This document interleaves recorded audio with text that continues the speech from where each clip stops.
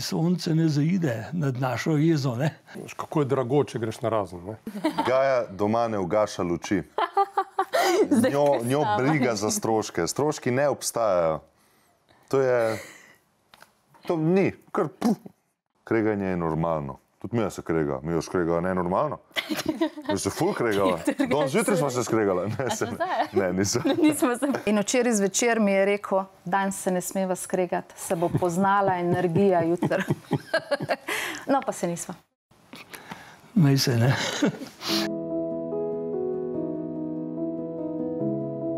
Kaj je najbolj pomembno v partnerskem odnosu, v romantični ljubezni?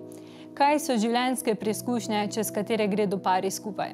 In kako otroci spremenijo dinamiko med dvema človekoma? Se naši pari držijo že skoraj ponarodelega na sveta, da ne sme zaspati jeza na partnerja? In zakaj ostajajo skupaj? Tako je, kot da bi prišel moje življenje in vse stvari, po katerih sem hrepenela, postavil na svoje mesto. In to se je zgodilo tako, ne da bi bilo treba se truditi, pogovarjati, ne vem kaj, ker stvari so neke zaživele. In Alenka mi je uspela mi je razbiti vse te okvirje, pa ščite, ki sem jih imel. Ne. Kar je bilo, kar je bilo zelo boleče. To je, oh, to je bilo zelo boleče.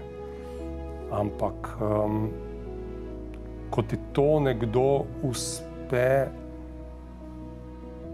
narediti, ne, ali pa te prepriča, da pač je to prava pot in greš po tej poti, ne, potem je to, mislim, potem je to to. Ne. Sem rekel, da bi v soboto šli pa smučati. Ne? Anica je rekla, ne, dejno bod pameten, lej, naloge un tret, to soboto pa ne bo šlo. Ne?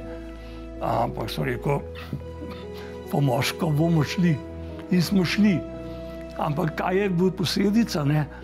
da Jani, recimo temu grobo zamirila, jaz sem pa tudi mislil, se sem se prav odločil, zakaj ne bi to soboto šli. Ne? In iz tega je nastal tihi teden. Ne?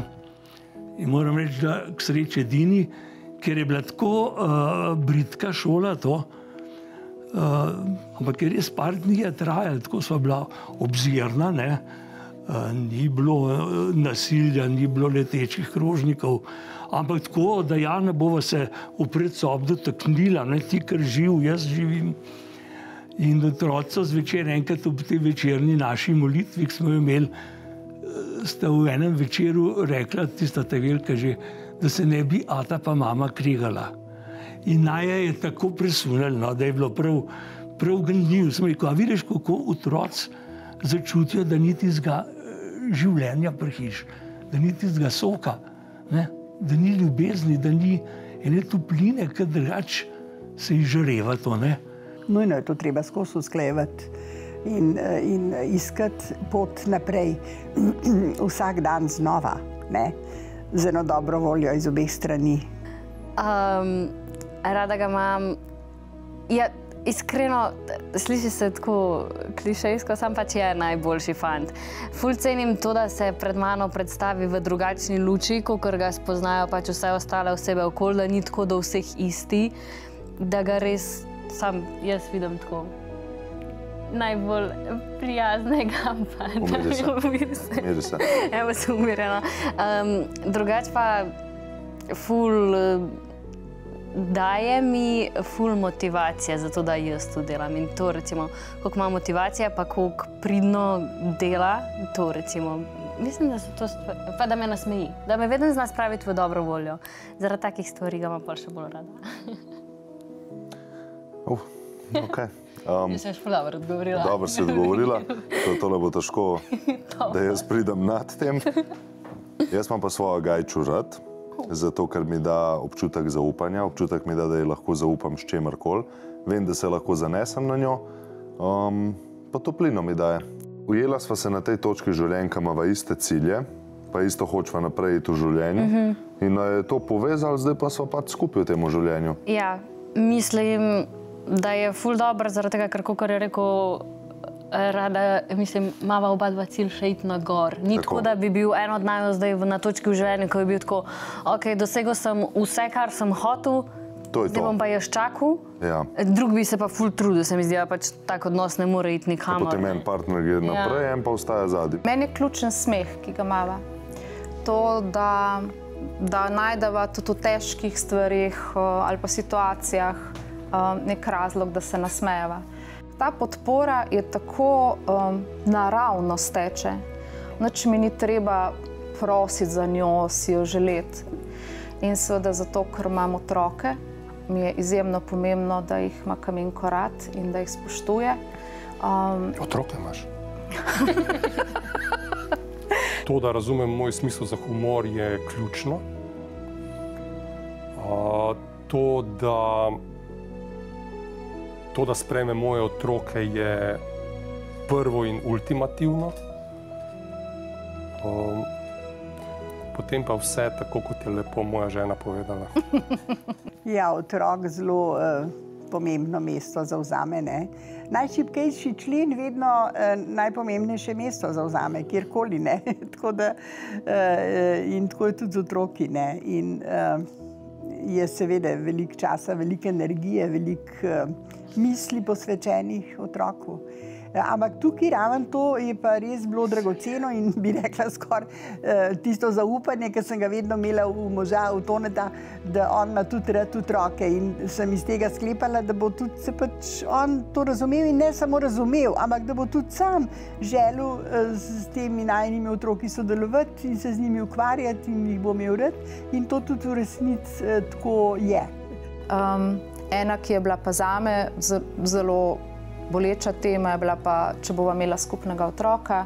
Um, odločila sva se potem, da ne. Jaz sicer sem potem nekaj časa hrpenela, uh, ker sem bila stara že toliko, da, da nisem več vedela, če bi lahko zanosila, ampak seveda z moškim, ki ga ljubiš tako kot jaz ljubim tebe, sem želela imeti otroka. Zato, da nimamo otrok, sem jaz kriv. ne. Mislim, eh, zato, ker sem, ker sem ta prva leta ne, je, je bil moj boj. Šel sem od svojih otrok, ne morem jim narediti tega, da bom pa zdaj imel enega otroka, ki bo pa zdaj tam pa bo z mano živel, tam pa imam dva svoja, ki imam naraj na celem svetu in bi dal življenje za njih. Ne, mislim, to, to meni v glavi ni, ni šlo. Danes ne bi bil problem. Ne. Danes, ko, ko je zadeva postavljena uh, in, in ko vidim, kako funkcioniramo, pa kako se imamo radi, ne, pa kaj nam je uspelo, kaj nam je vsem uspelo v resnici. Ne.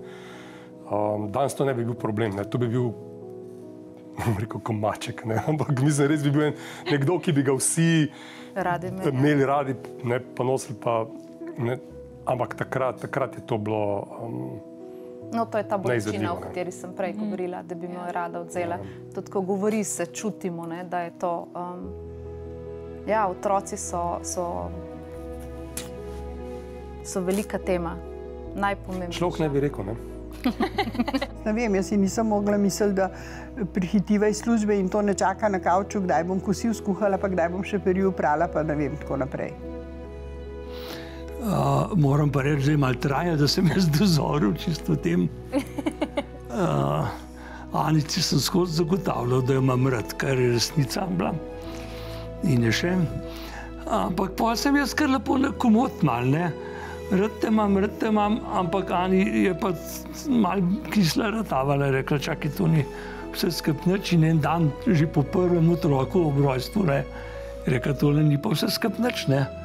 Uh, ti uh, sem mislila, da boš ti pa zjutraj vstal, pa ne vem, zajtrk nam pripravil, ali pa v trgovino že skočil nekaj, ta čas, ki jaz imam z otročkem del, ne. Jaz pa lepo, ne, fino, lušten smo, skupaj smo, lepo se imamo, ne. Ampak Anici ni zadoščala. Anica je hotela nekaj več. In tako smo počasi uh, zoreli, no. moja, moja delavnost družinska je tako zorela da potem, ko je prišel šest otrok iz porodnišnice, sem točno vedel, kaj treba že narediti. Takrat pa si že izšolan ob delu. Ja, si bil malo hitrejši. Ali se bilo hitrejše? Ja, ja. Jaz si sploh ne predstavljam, da že imam otroka. Ja, jaz isto ne iskreno. To mora biti čist pripravljeno in finančno, in časovno. potem pa. Če bova kdaj. Ja, valjda, da si lahko. Ja, Da si lahko prvoščeš, da si lahko več časa vzameš. Imaš prav. Ne vem, ne, pred- meni se zdi to ful težko. Meni tudi. Eh, Vsem staršem, kaj podol, Mene je strah. In mene je. Eh, on vsakmu otroku ali vnuku eh, napiše za god ali za rojstni dan eh, pesemco, kar tako po Vibru pošle pesemco, že zjutraj napiše tako lušten neki verzov. Eh, No, recimo, lejte, to je ena taka drobna pozornost, na videz drobna, ampak v resnici se pa tudi treba potruditi, pa poglobiti, kaj boš napisal, pa kako boš to izrazil, da bo nekdo vesel. Jaz na tebi ga spoštujem, kako ti nič ni težko narediti za svoje bližnje. Ja. Vem, kaj spoštujem na tebi. To, da, um, to, da se tako um, znaš postaviti za nas, zdaj, ki se reče za svoje bližnje, pa tako, da pač res. Um, da, da, tudi, da če se bo komorkoli kaj krivo od tvojih bližnjih zgodilo, da boš pač rekel, ne glede na to, komu boš rekel. Ne na Andrej ni nikoli tak, da bi se zdaj, kot vidiš, pri kakih moških, da bi rekel, zdaj se bom pa stepil s človekom, pač, da bi tako reševal probleme, ampak zna pa povedati. No, bom še jaz kaj povedal. sicer. A ja, no, preveč, no. Hvala. Lejte, mene pa, mene pa paranici ta njen pogum, tudi skrb za družino, seveda pa ljubezen, ampak ta njena korajža v življenju jo uh, nikoli ne zapusti. Ne. Uh, zmeri bože kako.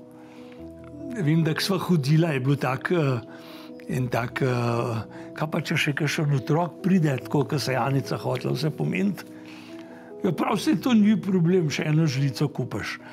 Seveda bo zdaj nekdo si mislil, da smo zelo naivno, uh, pa neresno pristopili k načrtovanju ne, družine. Ampak uh, to je na kratko povedan, da je nek pogum, da se bo našla rešitev, da se mora najti.